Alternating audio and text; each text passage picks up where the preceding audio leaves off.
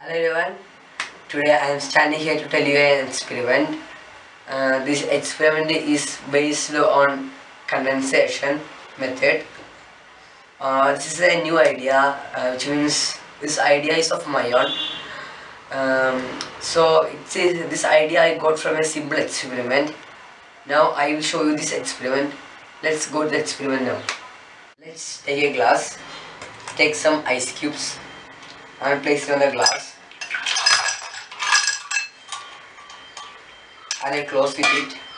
Now we can see that the ice cubes inside gets cooled. So which means the cool, the ice will get melted. Which means the cold here will be moved outside. So the surface area of the glass, which means us here will get more cooler. So the moisture in the air uh, gets converted into water droplets by the method of condensation. This is the simple experiment um, of a condensation. Now let's go to my own experiments that I will show you. Now we can see that the condensation is working now.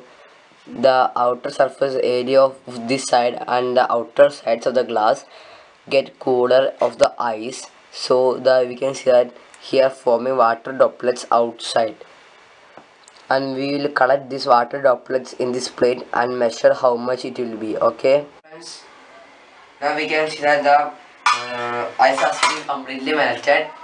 So from this uh, I, I have been collected some water which has been around this one.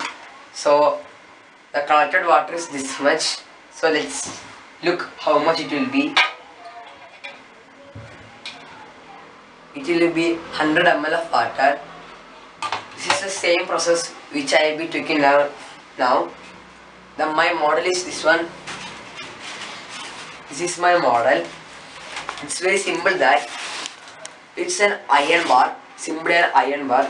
Inside this here I put inside this one I have put some AC so when the AC is hit on the iron bar the iron bar gets very cooled at night of the desert and converts the atmosphere uh, atmosphere um, that we can know that that moisture into water droplets. And here is a turning machine which will collect the water droplets and we will filter it.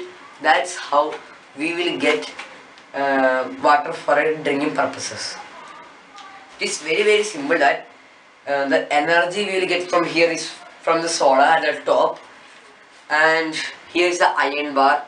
Here inside is AC the AC air or the aqueous air hit on iron bar. In the night the desert will be so cooler.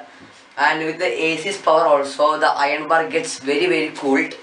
And what will happen now is the moisture in the air converted into water droplets. And this will collect the water droplets and filter this.